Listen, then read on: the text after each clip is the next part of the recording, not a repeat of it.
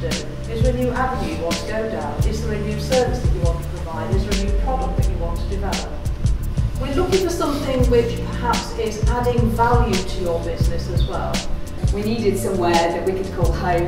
I wanted to set up a studio in Leicester and I moved to here, which now hosts three studios, a classroom, a kitchen and a house, a common room and a large space. The more that we are talking, the more that we can kind of, sort encourage this growth in the area, the more people will be supported.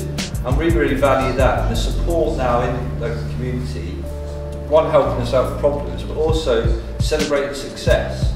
I'm very happy to you know, say that we own our house, the largest space, dance space, as a studio in Leicester, which is great. It has been a beneficial move, there's no two ways about it, but I'm glad to somebody now is moving things forward for everybody. It's great that we've managed to make this space work. It's great today hearing about how other people are using space as the culture quarter and what Rob's plans are to kind of, sort of encourage other people to be able to occupy these spaces.